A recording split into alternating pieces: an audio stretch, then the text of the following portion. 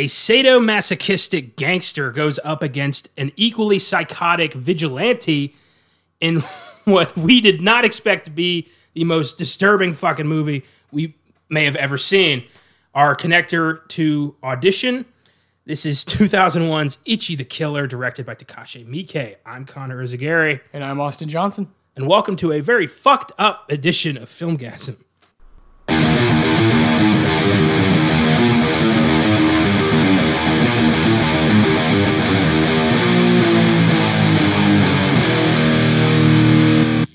Ichi the Killer, maybe the most cult movie we've ever done, or maybe ever will do. This movie has a rep, a rep I was not aware of. Yeah, yeah, me neither. And now that we know, sweet Jesus, I don't even know where to begin with this thing. This was a monster. I mean, you heard in our audition episode that this bled through almost the entire time because we had a lot to unpack with this. No kidding. My God. Uh, Ichi the Killer. There's like a huge smile on my face. I don't know why.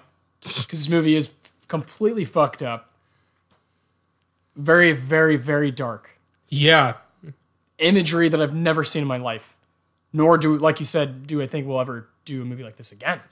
no. Uh, definition of a cult classic, like you said. yeah. the reputation it has is so strong that the people who haven't seen it are like you know like no and we didn't because this is our you know um so like we, we said on our, our episode on wednesday talking about audition we we have both seen now audition ichi the killer and 13 assassins Yes. ichi the killer is my favorite Yeah, probably Of the mine too.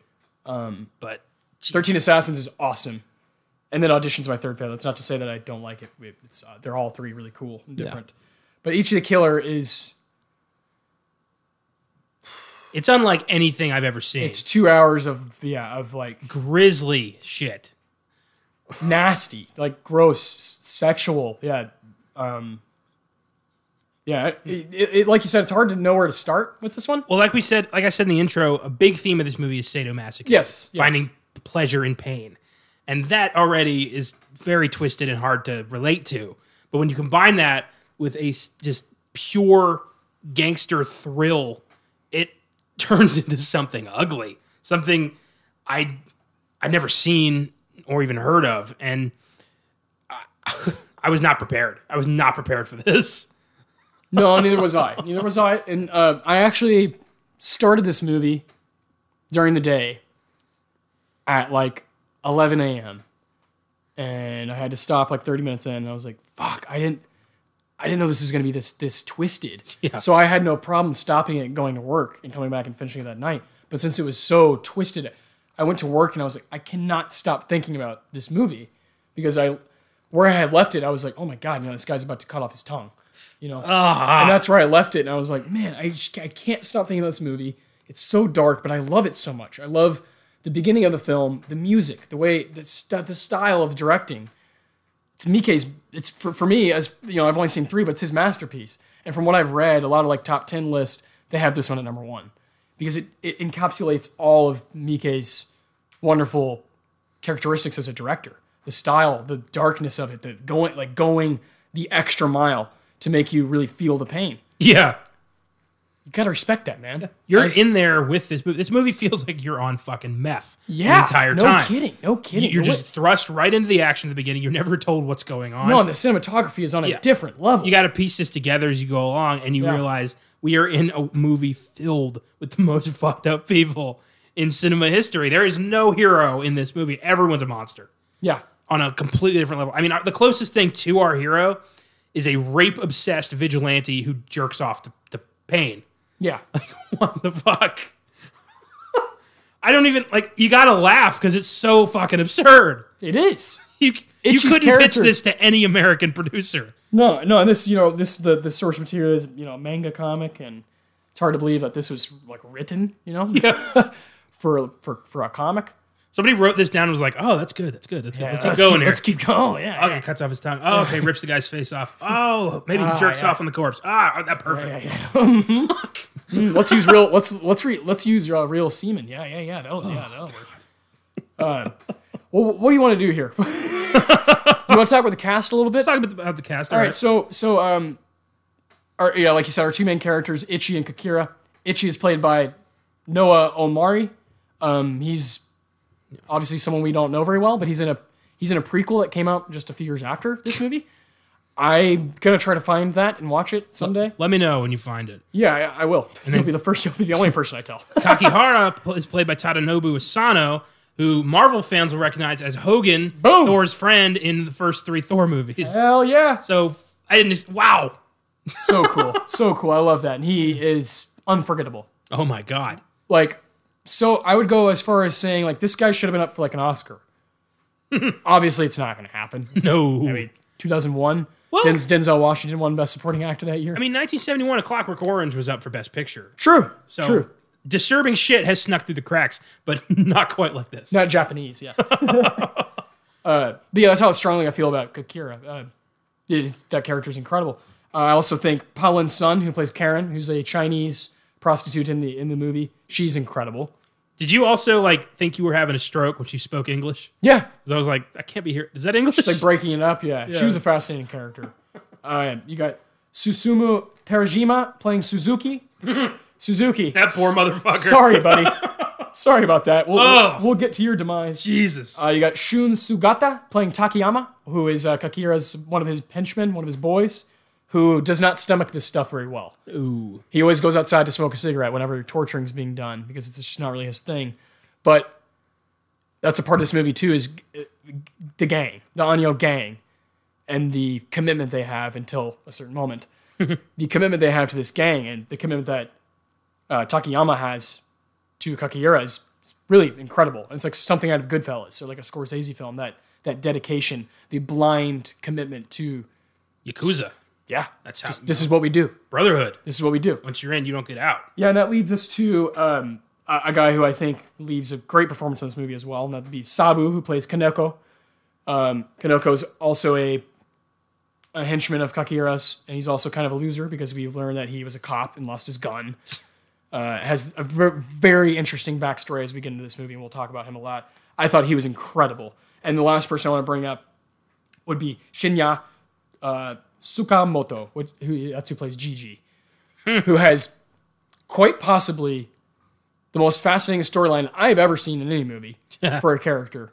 And when he takes off his clothes, What was that? Oh my god. whoa. I mean, that's like in the last five minutes of the movie. We'll get there, but whoa. That reminded me a lot of Kung Fu Hustle. I didn't know how to react when that came on the screen. that's why IMDb has it listed as comedy. Because it's Yeah, fuck that, by the way. This is as this is no comedy. no. no. This is I I was very close to labeling this as horror on the website when I did my review. yeah. But it's action crime, I guess. I gotta, you know, it's not up to me. Yeah, man. I, you know, uh, Ichi the Killer. Uh, there's, you know, we could go on and on about how fucked it is. Uh, in at the Toronto Film Festival in 2001, where it premiered Oh boy. in North America, whew, lots of walk, lots, lots of walkouts, lots of misunderstanding, uh, lots of people leaving before they even knew what was going on. You know what I love to think? That person when we re- when we did audition, we read about that person who passed out at the film festival in audition. I want to think that they went to see this too.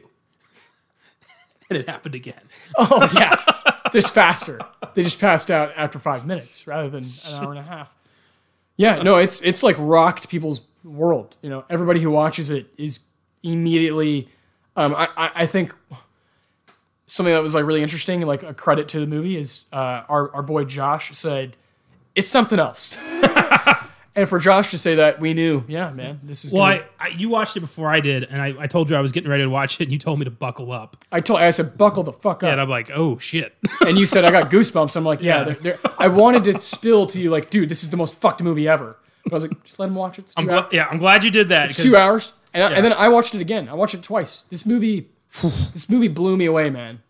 Blew me away, and I, I'm willing to, I'm willing to, I'm willing to go there. This is this is what we do on the podcast. We're really honest. We're really vulnerable about the process of watching these movies and like why we watch them.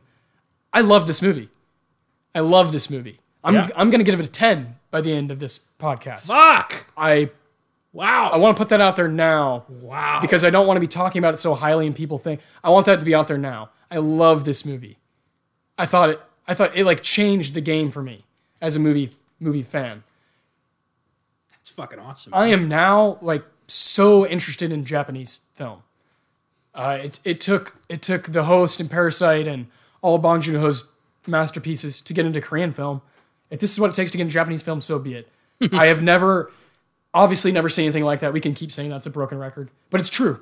It's literally true, and it's not just the movie. It's like every two minutes I'm seeing something new. Yeah. I'm seeing a new way of filmmaking. I'm seeing a new way of of filming something. The cinematography in this movie is absurd, absurd. Like towards the beginning of the movie, when you're the camera's kind of like at these guys' legs and they're going upstairs.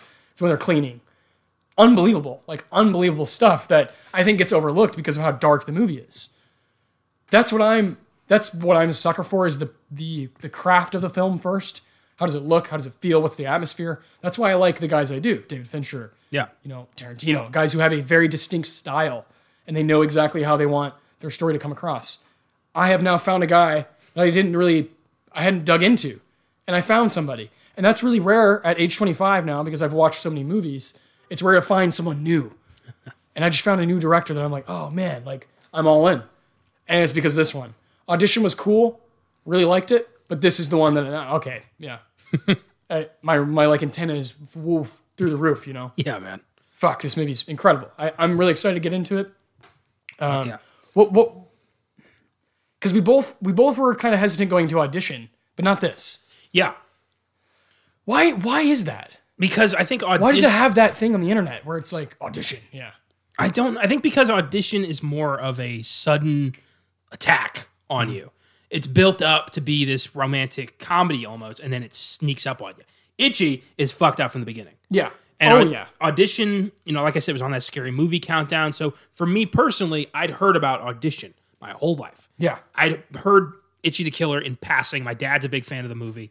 He had it on DVD. So I, I knew about it, but I didn't know what it was. Audition, I was very clear on what that was. And it scared me. But Ichi, well, it's it's the superior fucked up. It's never freak, freak fest. Never leaving my mind. No way, man. and I wonder if they're ever going to attempt like an American remake of this. That would never work. No, you you simply cannot re-conjure up the glory of Kakihara. Like you can't. You can't. You cannot do that. No. It's impossible. He, like that. That's like, like I'm I, like for people who are listening, if you haven't seen these movies, like I'm not kidding, man. Like this guy, this role of Kakihara is like legendary.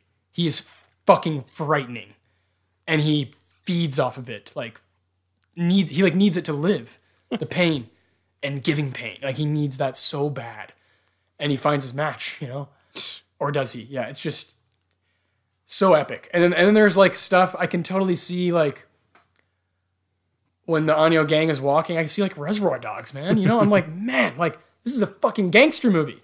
At heart, it's a gangster movie. It's ultimately about like Gigi fucking with these gangs and trying to get them to pit against each other. yeah. Crazy. really genius. And then within, of course, yeah, it's just some of the most fucked up imagery ever. So it's, amazing. Yeah. Without further ado, do you want to get into the plot or what? what? Uh, let's talk a bit about the uh, reception this film got. yeah, I mean, yeah, that's of course. So it's got an IMDb score of 7.0, Uh huh. Rotten Tomatoes score 65%, but an audience score of 82%. Yeah. So people who have seen this love it. In fact, here, here's the critics' consensus on IMDb on uh, Rotten Tomatoes.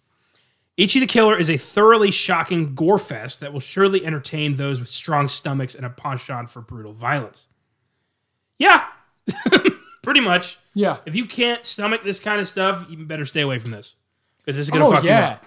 Yeah, no, it's not for everybody, of course. I don't know. I definitely don't want to give off that energy, like because I am praising it. That's part of the reason I came out and said that I love it so much. Yeah. I don't. I, I'm not saying like everybody needs to see this movie. That's not the case. No. This is for certain fans. Yeah, this is for a very niche crowd, Yeah. but that niche crowd loves this movie. Yeah.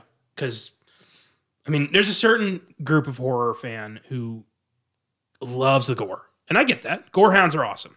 I know a lot of gorehounds, and this movie will satisfy those guys for sure. But if you're just the kind of guy who likes, you know, to occasionally be spooked by a horror movie, stay the fuck away from this. this is too much for you. Yeah, yeah. If you just like kind of, you know, yeah, like being scared a little bit, be on the edge Mm-hmm. of your seat. Yeah, this is not it. No, you can't go. This is like eyes peeled back, like Yeah. like you said, on meth, like nasty shit. you can't go from drinking light beer to doing eight balls in the back room. You can't. You can't make that jump that fast. Yeah, You gotta gra- You know, you gotta graduate. unless you're like Charlie Sheen. Yeah, You don't have tiger's blood. You can't do this.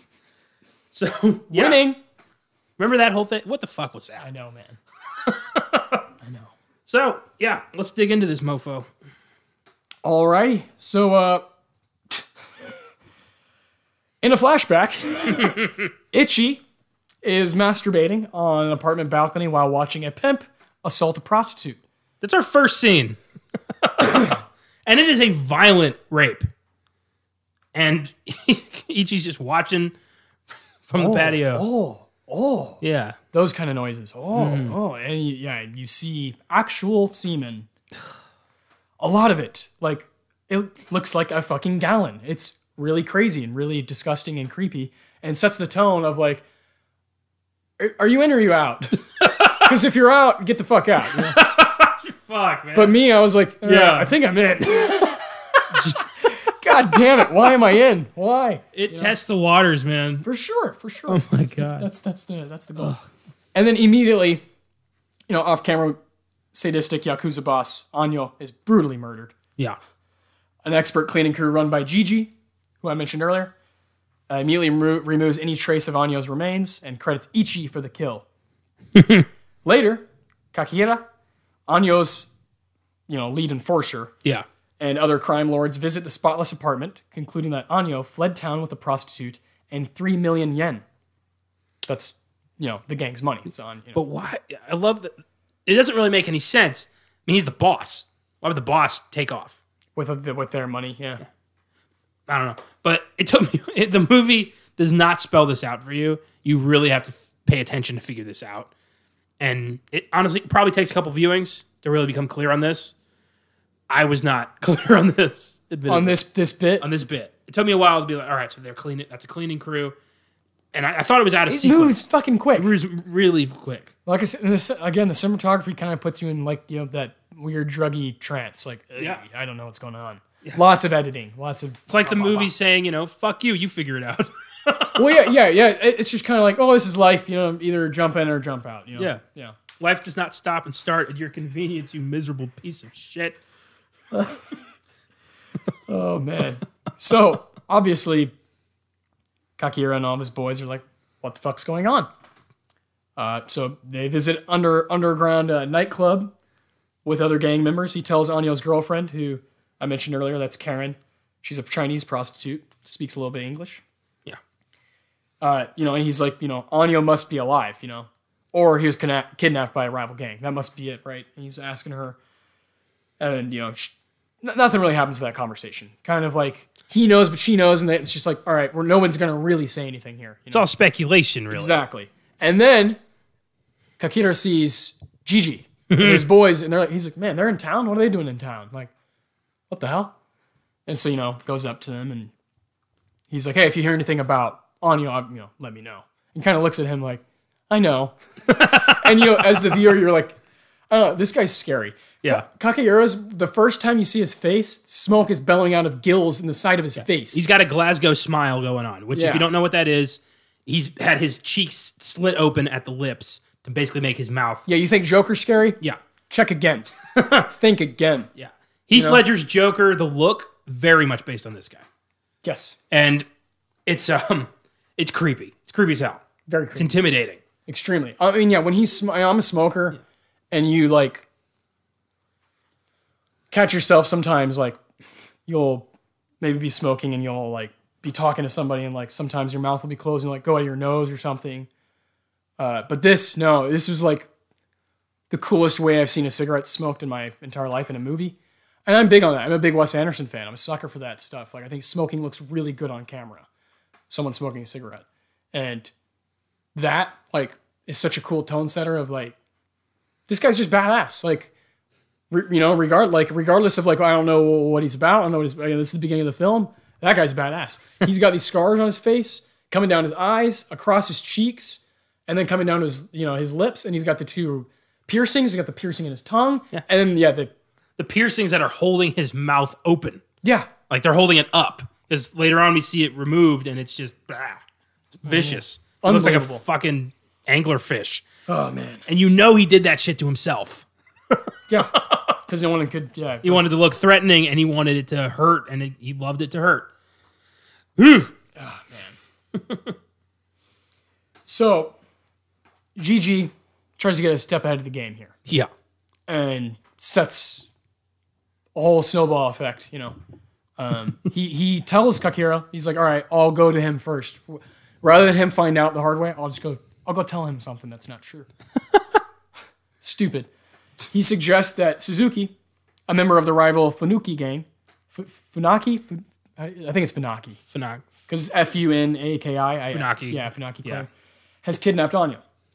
Kakihara captures Suzuki and tortures him, needless to say, uh, with suspension. With suspension, and uh, if you've seen Midsommar, it's in that movie where there's, uh, you know, Meat hooks. yeah, like yeah, like fish meat hooks in the skin, holding you up by the ceiling, and then he's pouring hot water on his back. Uh, Yeah, and piercing him. Um, Yeah. Burning like you know, boiling oil. and this, he has zero proof that this guy actually knows anything, and he doesn't know anything. no. Doesn't know shit. Gigi's fucking with him. But he goes to such insane lengths on hearsay. it's Yeah. ridiculous. And this is again like the first ten minutes of the movie, so you're just like, Yeah. fuck, this guy means business. I lost it when he poured the tempura oil. I was like, the second he picked it up, I'm like, fuck. And of course, of course, the camera doesn't allow you to like even look anywhere but the back. You know, it's like so focused on his back. Ugh. The camera just is such an aid in this movie. Um, always choosing the darkest perspective rather than like, let's go away when the thing is being sliced. Let's go right at it. Let's, Yeah. let's film it. Let's Like, fucking film You it. You fucking know why you're here. So watch this. Yeah, yeah. Check this shit out. See if you can stomach that. So Suzuki is innocent, Yeah. and everybody finds that out. Kakihara's like, "It's not a big deal, man. He, shouldn't he be able to handle some pain?" And he's like, "Fine, man. Fine. Fuck it. Like, I'll, I'll, I'll give you something in return. You know, as penance." So he, Funaki shows up though and is like, what is the fucking Yeah. meaning of this? dude, what are you doing? really? Like, And Funaki, once again, it's Boss Tanaka from Kill Bill. yes.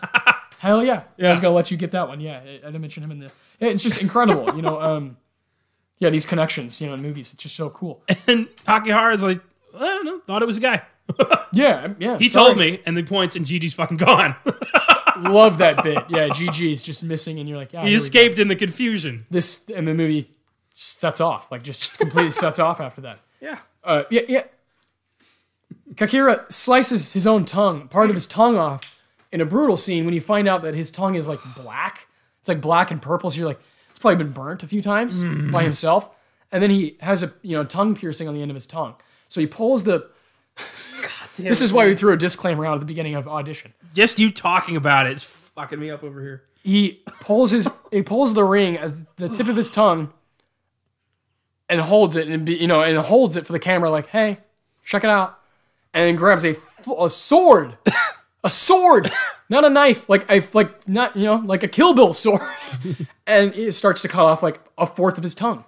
I thought it was like half. Like he goes it's, at that thing. it does say half. And then it, uh, you know i thought when it was in that water i was like that doesn't look like half but i don't know. Either way. And it gets fucking like stapled back shut and he's got little wires and stitches in it and it's the scariest tongue i've ever seen by far well, even when he's like saying, you know, it'll grow back. yeah he's like the human body regenerates yeah it's fine Who the hell is that nonchalant? your mouth hasn't regenerated bro yeah you Fuck, man. You still got gills in the side of your face And I'm, I don't know if that's accurate. no You cut off half your tongue. I don't know if that's growing back. i think it does as we learned in parts of the caribbean when that one guy Ah, cotton. yeah yeah yeah oh he can't hell he can't talk But oh my god Jesus Christ, and this is all in the first twenty minutes of the movie. Oh yeah, we're not even, we haven't even, we haven't even licked. The- Jesus the, Christ. stuff, the good stuff. But Funaki's like, you know, we want penance. We want your your video, your uh, pornography ring. And he's like, look, Anjo took off with all our money. We lose that, we lose everything. And Funaki's like, not my fucking problem. You tortured my best man. Like, what do you? We want retribution. And I don't think Funaki even says like, okay, I'll accept the tongue. Kakihara just does it. Yeah, he's like, this is this is what's right. Yeah, Uh, and I wouldn't want to argue with the guy who just sliced off half his tongue. and like handed it to me. That's fucking commitment. You're like, yeah, man. uh, Ugh. So yeah, that settles the matter, but not for Suzuki.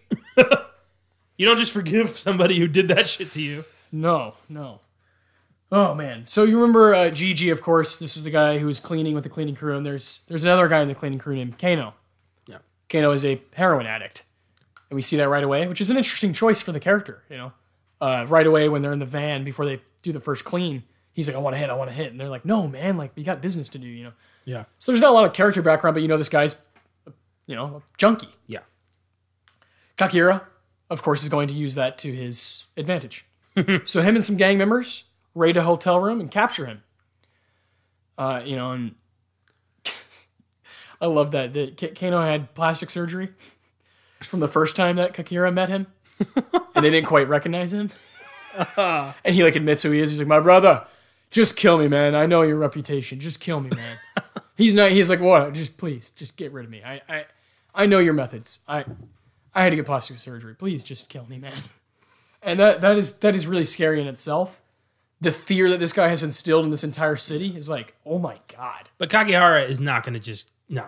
It's all about the pain for him. He is Yeah. never. Nobody's just going to die.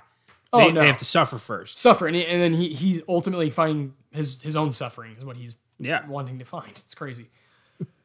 uh, so yeah, so now, you know, Kano is captured, obviously.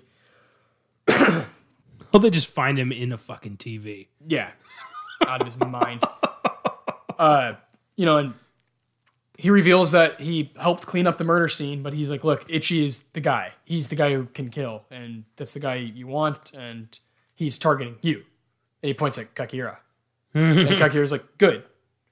And that's when the movie you're like, "Oh shit!" Like he really wants this. It's on. he like we like ultimately like they they want a showdown. He wants a showdown. He wants a one on one fight. He wants to feel the pain that he's been searching for. He wants a real life Street Fighter. Like yeah. like one on one with Ichi. He wants it really bad. He's seen what he can do. Oh boy, and he does more.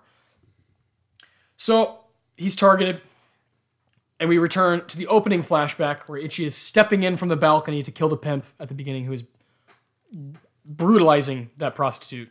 Her name is Sailor, Ugh. um, whom Ichi patronizes earlier in the film, as we saw at that really weird scene in the um, that brothel Yeah. Brutal scene. That's not here in the plot synopsis because I don't know how you like write about it. Really fucked up scene. uh, yeah, that's that's one I guess you know you're just gonna have to watch it to to see it. Uh, afterwards, he tells her that he will be the one beating her up now because he simply I, I don't know how else to say he he shreds Anya to in half.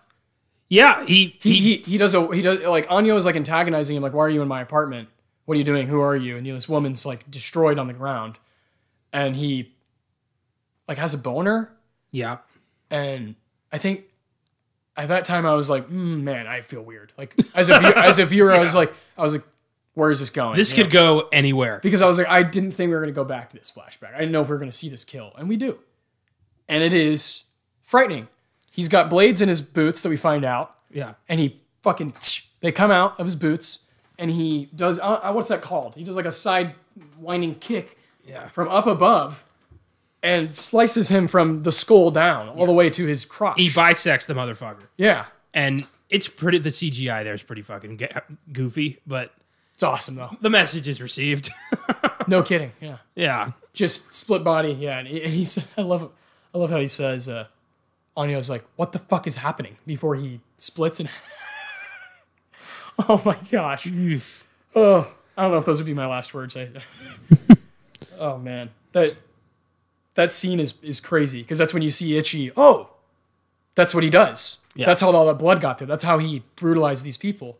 Is with that those blades in his boots. That's his weapon. And then let's talk about his suit. Okay. What'd you think about his suit? His like Nerf style fucking suit. Well, at first I was like, this goofy dude's going to get himself killed. Trying to save this girl. But then I'm like, wait a minute. the blades and the, the blades in the foot and like the, the high kick. I was like, what what what is this guy?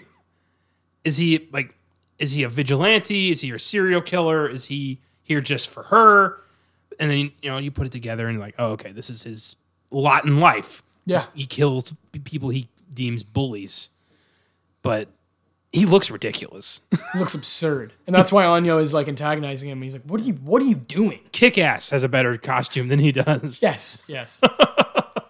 oh man! After he slices Anjo, Sailor, the prostitute, is obviously a little confused I would say, yeah. uh, at this yeah weird figure who has this. Been a rough night. A- And then and then she realizes mm, this guy's a little unhinged, you know, and he's got like a boner. Uh, and he starts approaching her, and he's saying, "To me, this is more, yeah, maybe the tough, one of the probably the toughest scene to swallow as far as dialogue." Um, he's telling her, "Don't worry, I'm gonna beat you up now." Fuck.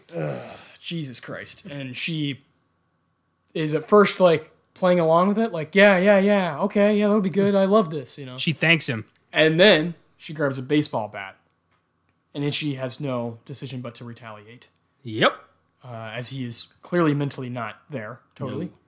Um, and he, uh, yeah, he kills her too. Yep. slices her throat open. Uh, just on the side too, which causes to, for her to die a little slower. And that that that that CGI a little bit better because you got just or is it even CGI? No, that's- that's that's- just straight spewing. Yeah. That's The, squibs. the cut looks good. Good cut. Cut looks real good. Yeah. And then when she is like going at it, you know, so like starts like walking towards him. It's like, oh man, this is. Yeah. Whew. Well, there you realize Ichi's no hero. Oh no. He's he's fucked up. yeah. He's really fucked up. Like Yeah. me- like like mentally disabled. Yeah. um, and, and obviously has a strange problem with how he gets aroused. Yeah. He f- he finds pleasure in pain, just like Kakihara, and it's that's a terrible way to live. I mean, to have that mentality. I mean, Jesus Christ. It's just crazy. It's a you know it's a trait a lot of uh, real life serial killers have had. I know Ted Bundy had the same deal. Dahmer. It's just fi- you know getting aroused by hurting people. It's grisly. It's yeah, it's like the worst m- motive to have. You know, Oh It's like man, the worst. yeah man. So messed up. Uh, so after that bruta- brutal scene, you know, so that's that's the flashback. So it's at the beginning of the film. He kills Anjo and the prostitute. That's when Gigi, Kano, and their other boy go and clean it up. Yeah. So we're all kind of caught up with the story now, and things start making sense because you're like, okay, nobody's good. Everybody's a piece of shit. Nobody has good intentions. All right, let's just see what happens. And the movie becomes more entertaining because of that. Because you drop all, you drop all reasoning, and you're like, I'm just gonna watch. There's no tropes in this movie. No, I'm just watching for entertainment now. Yeah. and I just want to kind of see what see where this goes. At Suzuki's prompting, Kakihara is kicked out of the syndicate. he is covered head to toe in bandages, Yeah, and he's just like, I want him the fuck out. yeah. But- yeah, But you know, he he so he walks out like it's nothing. Kakihara's like, all right, thank you. and he walks back in. He's like, oh yeah, I'm gonna take over the syndicate now. See ya. And then and then the entire Anjo gang goes with him. yeah, They're like, yeah, I don't want to cross that guy. no. And when someone does, Kakihara says, now is the time to speak up if you want to speak up. And one guy does and says, oh, like, Kakihara, you know, thank you, but I think I want to go home or whatever. And he's like, is that so? And then he stabs him in the foot and he has to walk with that thing in his foot. with his needles. Yeah. He has to walk in the street with that. And now we have like an epic needle drop and then walking in the streets of Japan. Just the scariest motherfuckers on the planet, led by led by the most evil man that I've seen in a movie. Incredible stuff. Suzuki then promises Gigi, this it gets really interesting here, a million yen to squash Kakihara. Gigi, it is revealed, is secretly orchestrating events in order to pit Yakuzuka clans against one another. Then things start making a lot more sense with the help of Ichi Yeah, and he's the one who's putting these things in his mind about bullies and about he's lying to him about oh yeah, and and Ichi's like were these the guys who bullied me when I was a kid he's like no but they're much worse. They're they're bullies they're just like them it's memento, straight up. yeah hell yeah crazy stuff Messed up. Brilliant though. If you can somehow manage to corral your own secret weapon against the Yakuza Yeah. and manipulate events like this, props. Incredible. Yeah. Oof. Oh man. Uh, th- though a normally unassuming and cowardly young man, Ichi becomes homicidal and sexually aroused when he's enraged. Gigi is able to manipulate Ichi's weak personality by impairing several false, im- implanting several false memories. A high school rape, in particular, which oh, we see Jesus. we see footage of, which is very dark, Yeah. and uses the unstable Ichi as an assassin. Yeah. So the memory is Ichi stood by as a classmate was raped by several men, and he got an erection while watching the rape. And he just built his identity from there. Yeah, Ugh. Jesus. craziness. And he regrets not helping her, but at the same time, he relishes that memory. It's very strange. Very twisted. Yeah, and then this is a weird scene too. uh, Ichi, we see him. He's he's like on his bicycle in the middle of the night, and we see four other boys like in the alleyway, and three of the boys are picking on one, like bull- bullying him, and that Yeah. his name is Takeshi. Um, and he's the son of Kaneko, who we mentioned earlier. We'll be mentioning again shortly. They're picking on him because his dad's a failure of a cop. Because because Kaneko, who's now Kakihara's henchman because he can't get another job because he was a cop. He's a cop who lost his gun, God. and so yeah, he gets made fun of all the time and. You imagine joining the Yakuza because you can't find steady work anywhere else. Fuck, man. Ichi uh, kicks the shit out of that kid though. Yeah. Uh, and, you know, Kaneko's kid is like immediately enthralled by Ichi and is like, "Oh, I can use martial arts to beat up my bully." Surprised you didn't slice the bully. Dude, I know. I was- I, I when that when I saw that and he was kind of like being being awkward, and I saw the kid, I was like, "Oh no, oh no." I can do the killing the guy who was raping a girl. I can do that. 'Cause fuck that guy. Yeah. But this, ooh, I, I was like, please don't go there. And they, they didn't. He kicks the shit out of him though. They didn't hear. But we'll get there. Yes, yeah. Jesus, man. Oof. Gigi incites Ichi to enter an apartment containing several criminals to the old Anjo gang and slaughter them all. Mm-hmm.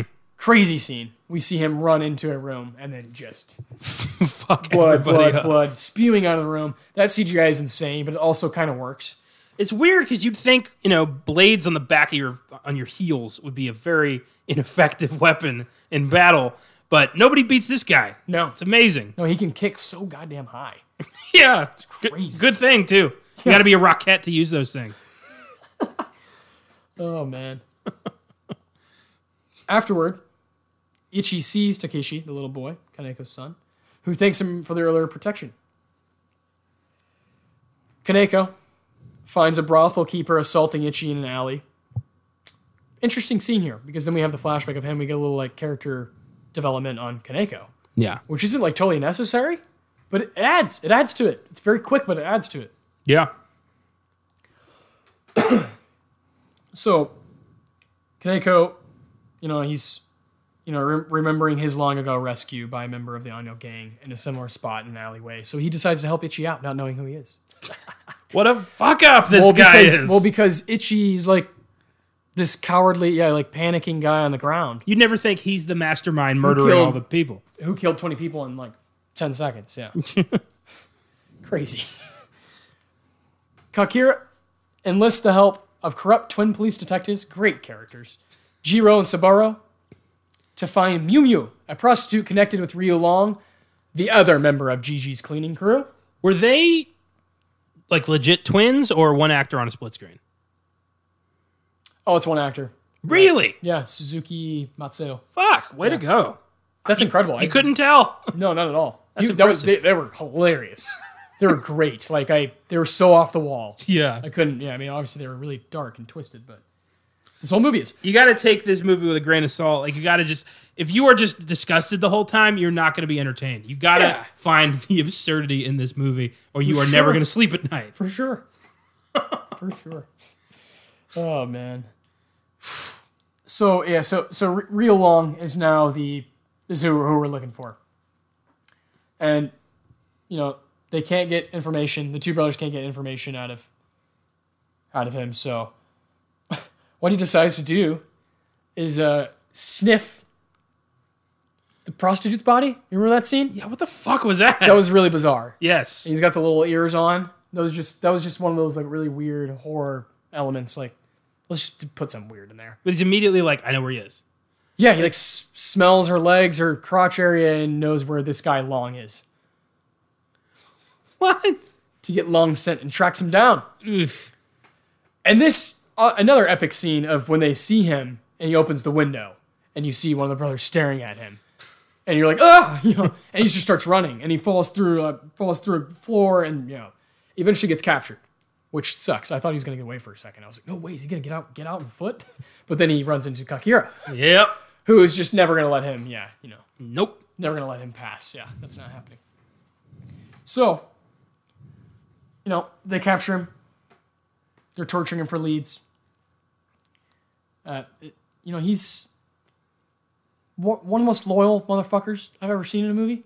Oh hell yeah. He gets his hand bit bit off. Like that that bit, you know, we were talking about Kakihara's mouth. Yeah.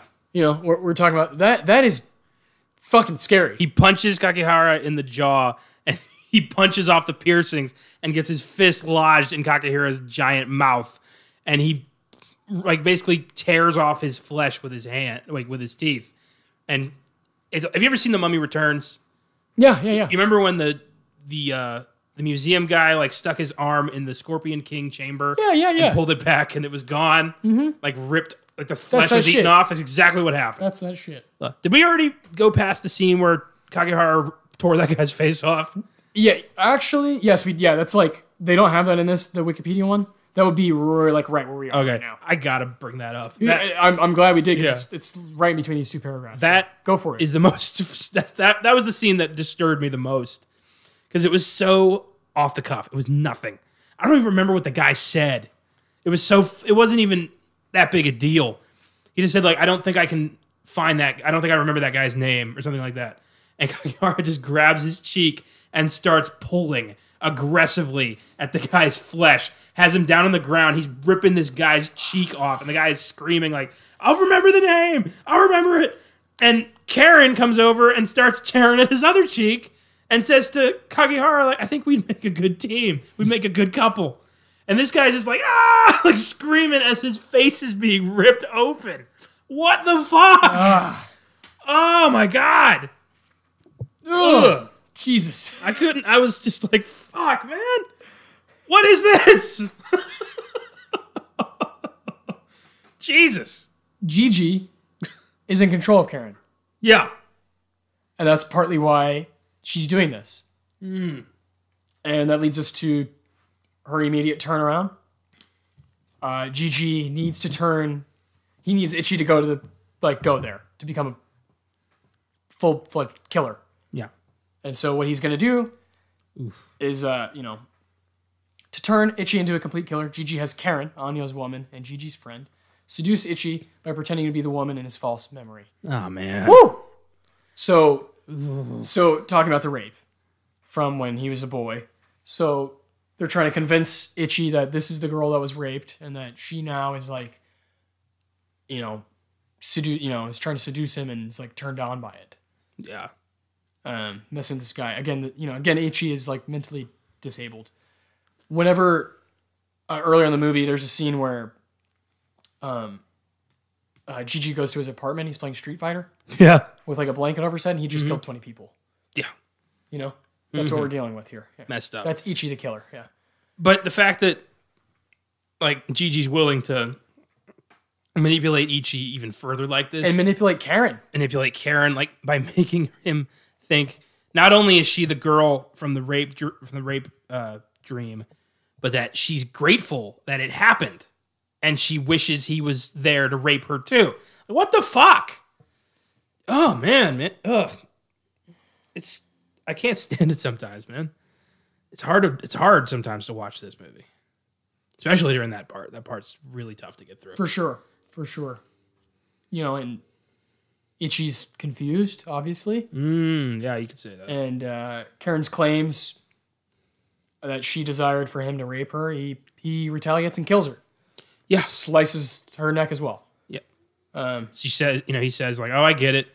You want me to kill you because you didn't want me to kill you, or his logic Yeah. is so hard to follow. Yeah, you want me to kill you because you don't want me to kill you. You Yeah. want me to hurt you because you don't. Yeah. So he takes her. You want me to rape you because you don't want me to rape you. he cuts her her leg off first. Miss Takibana. Yeah. And she starts hopping on one leg. Brutal. Jesus. Brutal. Yeah. Takashi likes to cut things off Yes. very much. That's a favorite of his. heads, Tongues, Ugh. you name it, man. faces, and um, yeah, she's just hopping away, and he follows her, gets her, gets her in the throat. Yep. Just like most of his victims. There yeah. goes Karen. Karen gone. That was that was a brutal scene. Um, had a tough time. I really liked Karen. I really liked that character. She got completely mind fucked by Gigi. Yes. Speaking of Gigi, he is very near Kakihara and his boys. In fact, at the same apartment complex. And he calls Kakihara and says, "I- Ichi's on his way. Um, he's coming to kill him, coming to kill you. But then Gigi is spotted by, um, what's his name? The one who always sits out. Um, what's his name? Takayama. Takayama. Takayama. sees him because he steps out of because he doesn't like to see torture or anything like that. So he's outside of the apartment He's in the wrong gang. and he sees Gigi on the phone like ducking and he's like that fucker, you know, and starts chasing him. You know, yeah. And and and and holds him at gunpoint. I thought Gigi was gonna get shot. What was going on in your head at that point? Like, oh my god, like Honestly, I thought Ichi was gonna like dive from the top and just like razor cut this guy. bah, bah, bah. But what did happen was pretty pretty interesting. yeah. Jesus. Um Gigi Gigi's uh he's wearing like a really thick coat and really really baggy pants like the whole movie. yep. And then in this scene, he takes those clothes off and just has like a, you know, small pair of underwear on and he is absolutely ripped. Yeah. He Like- can beat the shit out of 70s Arnold Schwarzenegger. No, that's This- I was about to say Yeah. he looks like his body looks like old school Schwarzenegger. Yeah. Like just chiseled. it's a it's free. Do you think that was like really him? I have no idea. Because that was impressive. That was unbelievable. And I, and I was like, uh, what? Uh, and then he rushes the guy and like crushes him. Like, uh, he like grabs his skull, and you're like, man, this guy's got so much force. It's like the fucking Hulk. It really is. It really is crazy. why does he even need Ichi? I don't know. And he, you know, he breaks his body. It says here on Wikipedia, he grotesquely breaks his body. And then throws him at Kakihara's door. Like, here's your trash. shit. I don't think it's outside the, you know, I, I don't think it's crazy to say Kakihara's a little, little scared. Oh right yeah, now. and he's saying he's saying that. I love it. He's like, man, I'm freaking out right now, and he's kind of smiling, and he's like, they're like looking, they're like, Ichi's Ichi's coming. yeah, he's like, I've never felt this before. Ichi's coming, man. Yeah, like this is this is happening, Mm. and it does. it fucking does. Ichi come and is chasing them.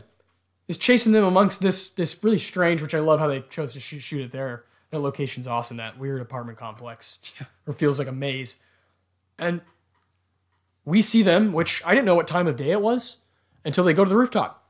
Like, oh my god, it looks like it's ten in the morning, which gives such a strange vibe to the whole movie because you feel like they're the only people in Japan the whole time. yeah. You're like these guys. This is it. This is this is Japan. This is what's important. What's going on right now, and it. it needless to say, when it gets goes slow mo, and Ichi's chasing him, epic, fucking epic. I don't even care if you don't like the grotesqueness of this movie. If you think it's too much or, you know, a little too violent, that's fine. But this this scene is so rewarding.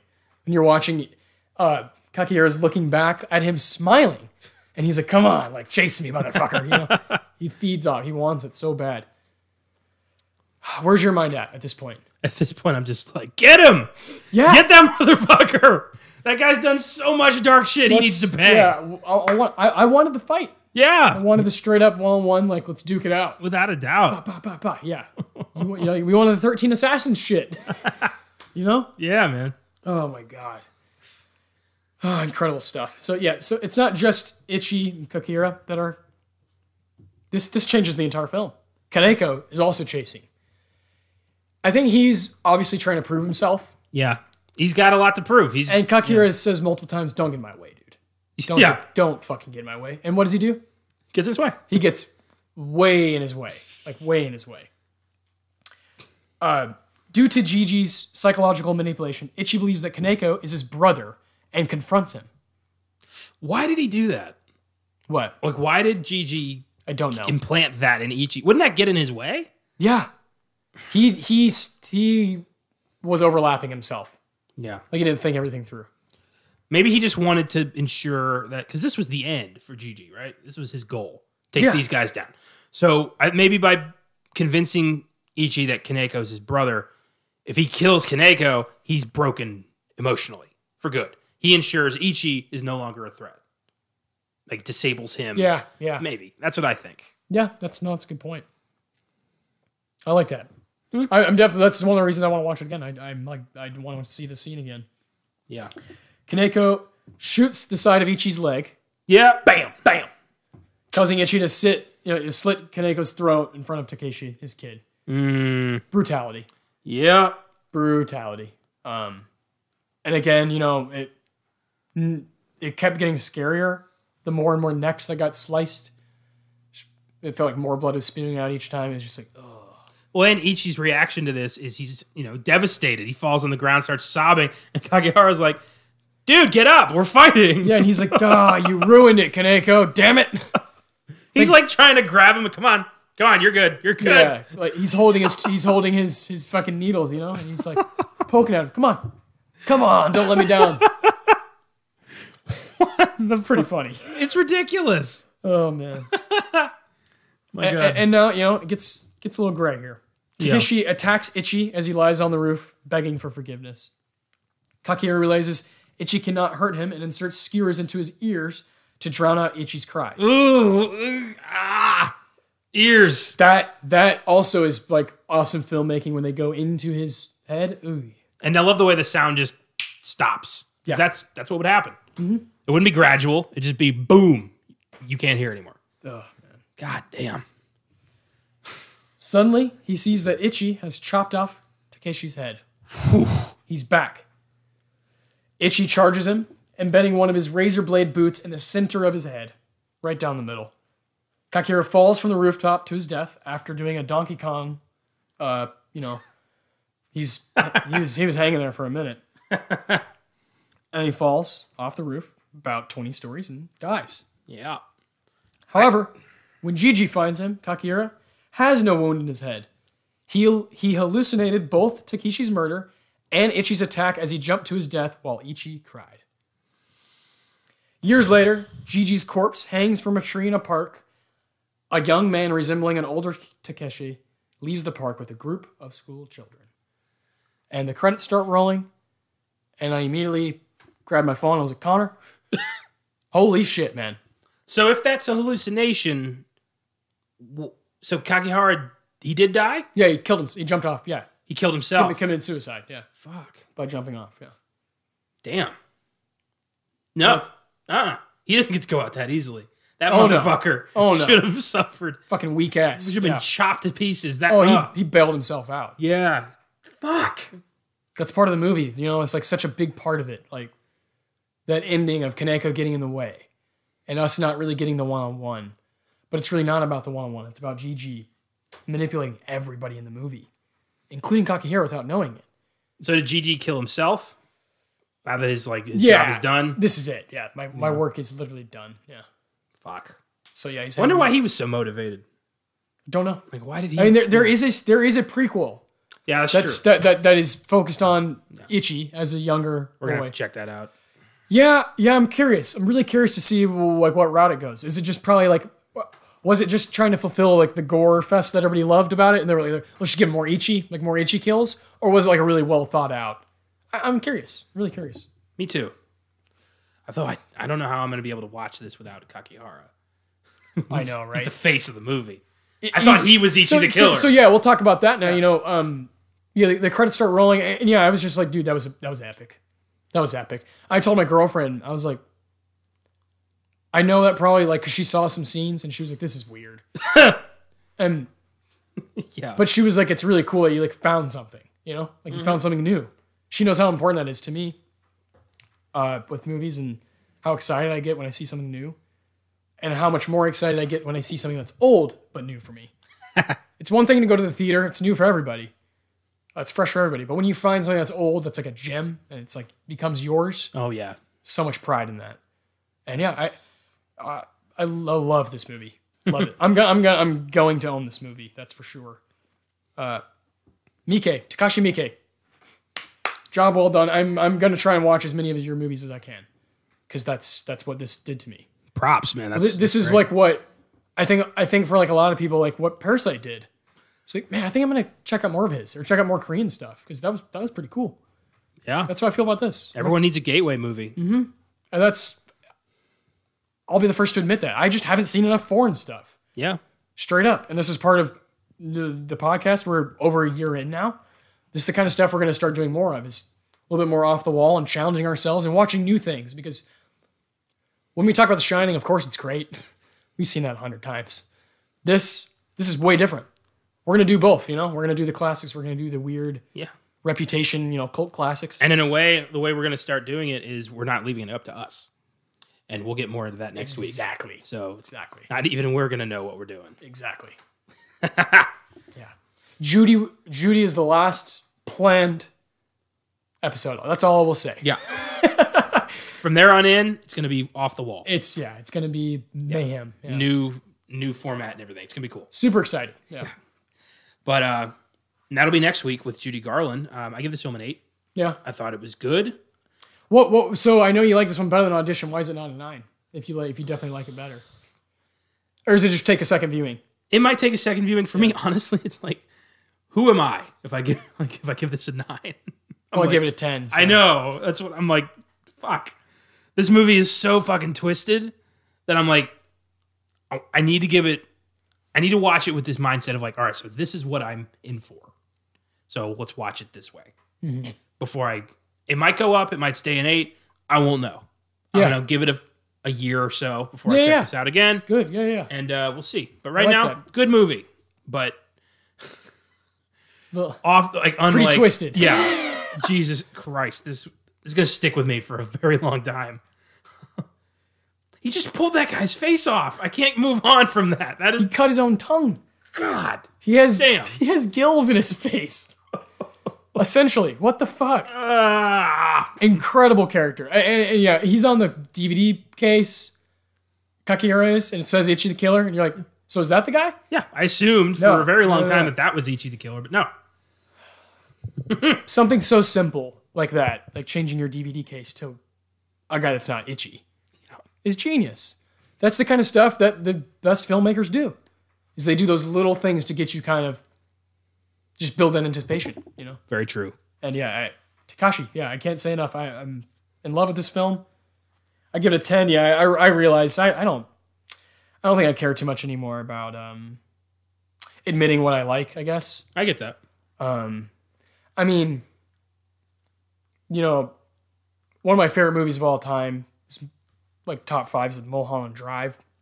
So, movie makes no goddamn sense, and it has a lot of just strange shit in it. Not like obviously nowhere near this, but my point is, I I like maybe even to a fault. I like stuff that's like deliberately weird and different.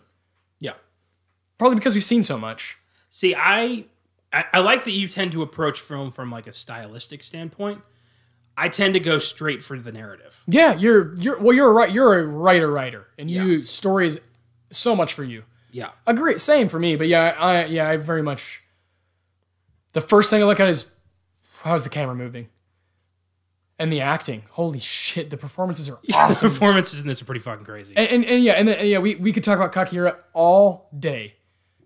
Um, there's a there's a podcast I listen to called uh, it's it's I think it's just called Movie Villains, and they just talk about you know like Joker and they even uh, the guy who hosted uh, he wanted to do like kind of like you know a little bit deeper stuff, underground stuff, and he did Amy Dunne from Gone Girl Huh. as one of his favorite villains of the of the decade. This is one of my favorite villains of all time. And of course, everybody in the movie is a villain, but but Kakihara stole the show Oh, he's on a completely different level. he steals the show. He's the way he dresses, the, the smoking, the how small he is. Why does nobody just beat this guy up? He's tiny because he's fucking evil. He's evil and he loves pain. Yes. You can't beat this guy. Bring it on, yeah, Yeah. yeah, yeah. He's yeah, you know, like yeah. I, I'll bring Joker back up because he's Joker times a billion. Not kidding. Watch the movie. if you think Joker's scary at all, if you think if you think Joaquin Phoenix is frightening at all, watch this. This is a character that will like tear you to pieces because he's so evil. Fuck yeah. Yeah, man, it's crazy. Oh, boy. I totally get why Tarantino loves this guy. Yeah, of course. Totally get it. um, yeah, I've heard I've heard a lot of current guys praise him, Eggers and Ari Aster, and he's the man. Yeah, he's influenced some greats, mm-hmm. and he's still in it. He's you know hundred movies. Yeah, and he's counting. fucking cool. Yeah, He's not just some weirdo. Like he's cool. He created a really cool environment for the set of this movie, and everybody left it like that was a great experience. I can't fucking believe When they're that. filming this horrendous stuff, yeah, that shows true control of your of your movie. That's also due to him not going through Hollywood, due to him saying "fuck you, fuck you" to the suits. I'm doing I'm doing this my way. Yeah, this man. is this is the Miike way. Yeah, it's awesome. It's refreshing. Well, I think that about wraps it up for us on Ichi the Killer. Uh, hell of a movie, hell of an episode. I'm glad we were finally able to unpack this motherfucker. yeah. And uh, Oh well, a week ago I had no idea what we were what we were getting into. me neither, man. And a couple nights ago I was like, oh, all right. I don't know why I had audition scheduled here. I don't. I just I had like this whim. I was like, I want to finally do that movie. We've had that one planned for months. Yeah. Months. We've known that we were going to do this for months. Mm-hmm. And Ichi just se- you know it seemed like the logical bonus Yeah. at the time. Now Yeah. it's just our you know connection. I kind of just went along with it because I didn't really know. I was like, yeah, that sounds great to do it. I would love to do a Japanese film. yeah, I was in the dark. And you were like, yeah, trust me, it's like on every list. You know, like audition is. And I was like, yeah, yeah, no, I, yeah, I'm in. I'm in. Let's do it. I'll do. I'll do anything. We did fucking Maximum Overdrive. I'll do anything. We will go to the very bottom and to the tippy top. Yes. There's no. Well, there's a couple off limits, but we won't go there. Do we have anything from Caleb and Josh for this? Uh, no, we don't. Damn. But I'm sure they would have a lot to say. Yeah, because yeah, because Josh said, you know, it's something else, and I, I, I really would love to hear hear their thoughts. Um, maybe I'll text him tonight. And we can Yeah, maybe. we can just kind of share our thoughts about it. Yeah, Yeah, crazy movie. for sure, man. And uh, next week we're going very tame with a career retrospective on Well, Judy like, Garland. Her life is pretty fucked. Like Her life is fucked, but, But- it's, but yeah. it's not Ichi the Killer fucked. the movies are awesome and like Yeah. Tame and fun. Yeah. By the way, I just I watched Judgment at Nuremberg. Awesome, yeah, man. awesome. So Oh, all I have left is Meet Me in St. Louis, which I'll maybe do tonight or tomorrow. Yeah. I don't know yet. We're only doing four uh, four movies and the 2019 Judy biopic because we learned our lesson with John Wayne. Less is more. Yeah. And Judy Garland, a lot of her movies bled together. A lot of them were the same, you know, happy go lucky, dancing around. So we picked four that we think best represent her career. And those four, might as well say them The Wizard of Oz, Meet Me in St. Louis, A Star is Born, and Judgment at Nuremberg. And we will talk about all of those, plus her life. I've enjoyed all of them so far. I have, yeah. and I have not seen Meet Me in St. Louis yet, but I really like. I mean, of course, Wizard of Oz. That was a revisit, but I hadn't seen Judgment or um, Stars Born. Awesome. Both Oh, yeah. awesome. she was on a, a whole like a, a great level and she never really got her due as a as a performer and she was just used her entire life and i'd like to shine a spotlight on her and it's going to be a sad episode so buckle up but uh yeah can't wait for that so Yeah, that'll be next very excited. and uh until then well you know maybe don't get involved in, with the yakuza and if you do you know stay away from people who i'm sure there's no way in hell gangsters weren't influenced by this one you know that some asshole Oh, cut his face open Oh man. yeah so stay away from those motherfuckers Yeah. and we'll see you next wednesday Peace.